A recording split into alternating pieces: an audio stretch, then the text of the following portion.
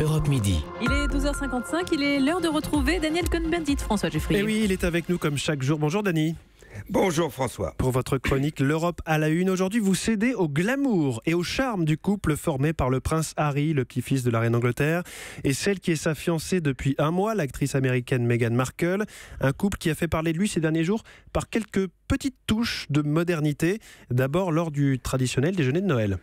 Oui, exactement. Euh, en fait, on a l'impression que Meghan est en train de faire l'éducation sentimentale et politique du prince Harry. Donc, vous avez d'abord ce déjeuner traditionnel de Noël.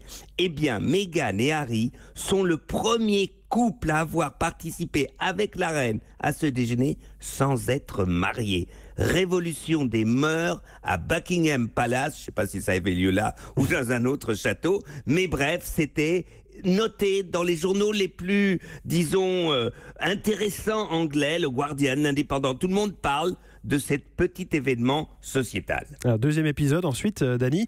Harry et Meghan qui ont refusé de participer à la chasse, traditionnelle chasse du Boxing Day.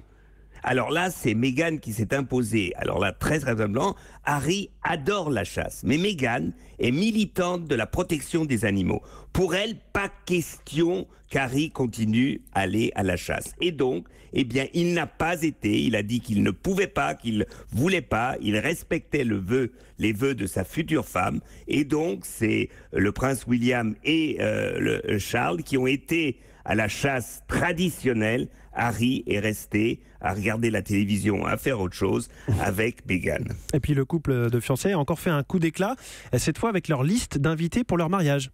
Alors là, c'est vraiment très politique. Euh, D'ailleurs, il faut le savoir, Meghan a toujours soutenu Barack Obama et Michelle Obama. Et donc, ils ont invité, dans leur liste, ils ont invité Barack Obama et Michelle Obama pour leur mariage en mai 2018. Seulement, alors là, le ministre des Affaires étrangères, Theresa May, sont intervenus par derrière en disant c'est pas possible, vous pouvez pas faire ça, inviter Obama et pas Trump, ça va créer un grand problème. Eh bien, Meghan et Harry n'ont pas cédé, on n'en a rien à cirer de Trump. Nous aimons, et d'ailleurs il avait, Harry, dans une émission de radio où il était le rédacteur en chef de la BBC, il avait même interviewé Obama. Et donc, Obama et Michel restent sur la liste des invités, tandis que euh, Trump continuera à faire du golf en Floride. Et voilà, la modernité de la couronne britannique qui séduit Dany Cohn-Bendit, fallait le faire. Merci Dany et à demain.